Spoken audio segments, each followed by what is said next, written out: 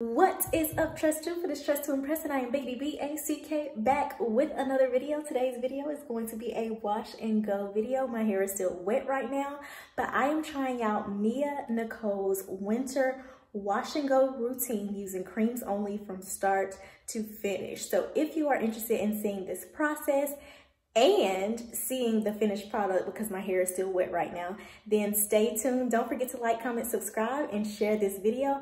Also, make sure you check the description box down below so that you can check out Mia Nicole's original video. Let's get into this video.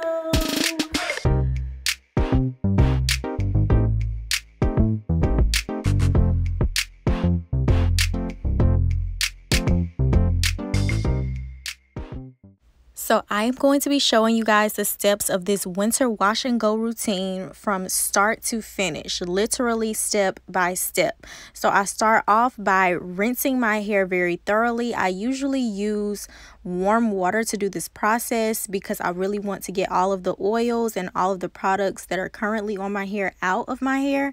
And y'all please excuse my clay mask. I was trying to get my skin all the way together.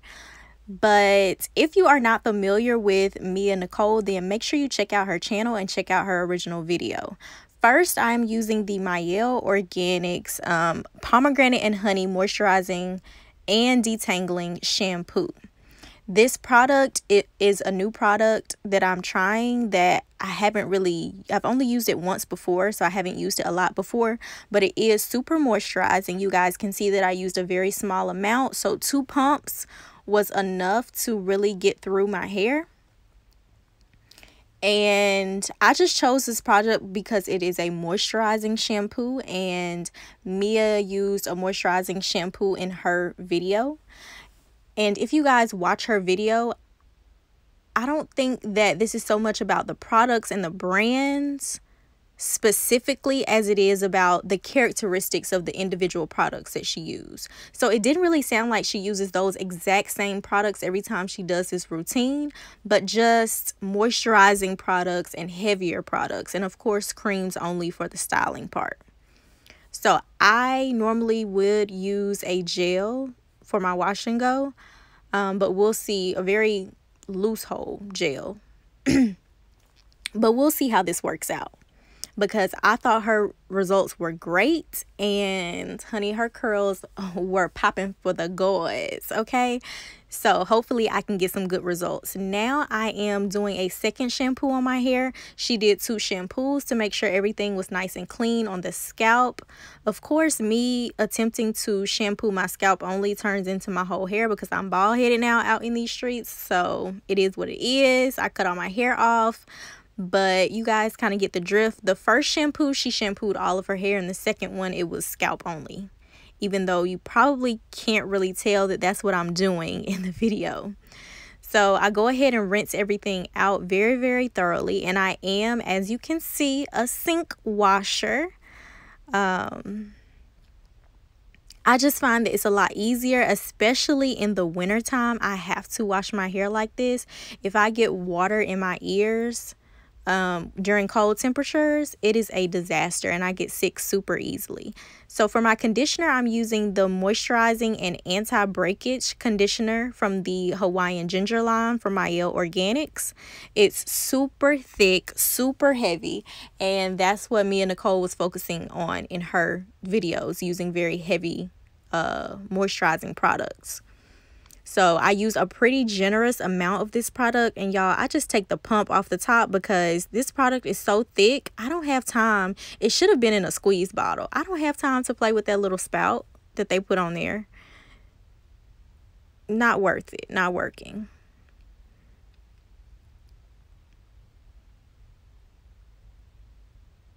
So after applying my conditioner, um, it looked like I rinsed it straight out. It was sitting on my hair for a few minutes before I rinsed it out. But I rinsed that out thoroughly and make sure I wring my hair out. I was about to add more. I forgot what step I was on. Okay, next is the Mielle Organics Rosemary and Mint uh, hair mask. So she did use a hair mask in her video. So I am going to try that out in my video as well. I've had this one for a while, so it's it almost has it's a little bit thicker than what it originally was when I bought it. And in one of her conditioning steps, she did detangle her hair in the shower. So I wanted to be sure to um, do that in my process as well. She used a, a paddle brush, but I am just using a wide tooth comb. I think that my hair texture is a little bit more kinky uh, than hers, especially in the crown section. And her hair is extremely moisture trained, and mine is not right now. I've been blow drying it and flat ironing it. So I decided to use a super wide tooth comb because if I used a brush, I would be even more bald. Next, I'm using the Mielle Organics leave-in conditioner and she applied her leave-in conditioner in the shower. So I am attempting to do that same step, applying the leave-in while my hair is soaking wet, which I normally skip this step. I normally skip this step. So I'm hoping that this does make it a little bit more uh, hydrating. And then I'm just going to cover this with a t-shirt because I'm pretty sure uh, she had a t-shirt on her hair as well. And I think that that's supposed to be good for not drying out your hair. Uh, let me say, when I took this t-shirt off my hair, my hair felt so moisturized. It felt so soft and moisturized. So I think the leave-in conditioner really helped. And now I am using the Mielle Organics Babassu Curl Cream. So remember, we're styling with creams only, no gels. So this is the um, curl cream that I'm applying to my hair. It's very thick and very heavy. And then I, on top of that, I'm going to use the Mielle Organics Curl Custard. So these are the closest products that I could find in my collection that matched what she used in her video.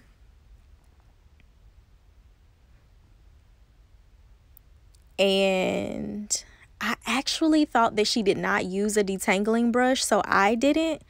But she really did use a Denman brush on this um, step. So I think I could have gotten even better results and better definition had I used my Denman brush on this step. But hey, I didn't. And she also shingled. So I did stick with that and kind of do a shingling method as best I could. I am not used to this short hair at all, y'all. This is my first time doing a wash and go on my shorter cut hair so i have no clue what my results are going to be looking like but i'm hoping for a miracle because Mia Nicole's hair was looking bomb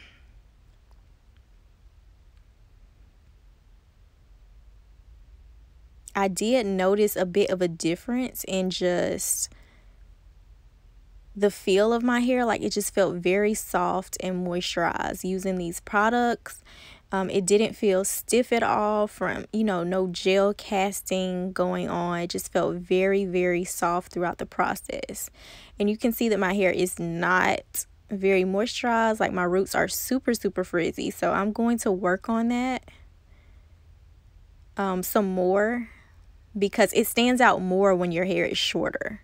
Like my hair is the same texture as it was when it was longer, but it's just more noticeable when the hair is shorter. So for each quarter section, I am splitting those in half as I work. And that just makes the shingling method a little bit easier. If your hair is denser or a tighter curl pattern, you may have to break it down to, to even more sections than that. But this is what works for me. And this is what Mia Nicole did in her video. And if you guys are enjoying this video so far, go ahead and give me a big thumbs up. Make sure that you are subscribed. Click that bell to turn on your post notifications.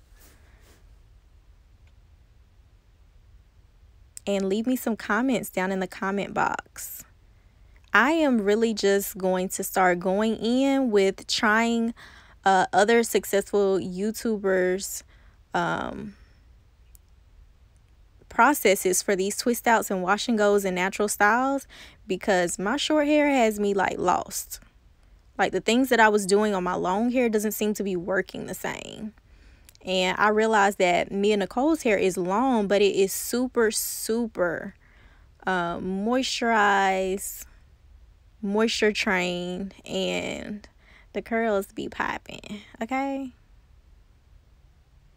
So I finally got to the end of my shingling and now it's time to do the edges. I'm using the Honey and Ginger uh, Edge Control by Mielle Organics and this is just in the spirit of keeping with the uh, wash and go routine that I am trying out. So y'all know I don't normally do edge control it normally gives me like a white residue the next day. I haven't found an edge control that I really like. And I did notice in her video that she said the one that she was using does not leave a white residue. So I may have to try that particular one out. I normally just use a setting lotion to slay my edges.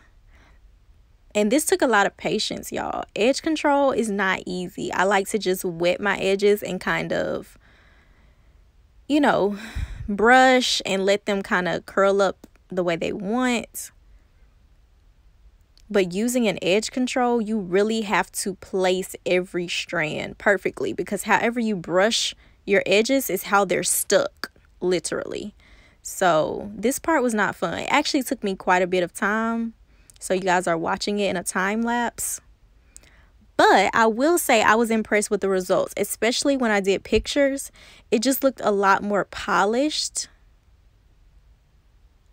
um, in pictures than the way that I normally do my edges without edge control. So I don't know. I might be a new fan of edge control. We'll see. I'll let you guys be the judge. Let me know down in the comments what y'all think about the edge control versus, you know, how I normally just do it with setting lotion. All right, so this is the final product while my hair is still wet and I am going to diffuse off camera. All right, folks, so this is where we are so far. I just literally finished the shingling and I just finished my edges and everything. So y'all, I don't do edge control, but this is how it came out. I'm actually pretty surprised. It took a lot of patience but I'm pretty surprised that the edges came out as well as they did. So I'm going to let this air dry for a little bit and come back and let you guys see the finished product. Uh, and Nicole said she diffused her hair. I've done that once before and it came out really, really badly. So I'm a little bit scared to try that out. So stay tuned. We'll see what it looks like. Y'all, I did not film the results. So here are some pictures of the dry results. Y'all let me know down in the comments what y'all think. I think it came out great and I officially adopt this winter routine. I am doing it every wash day.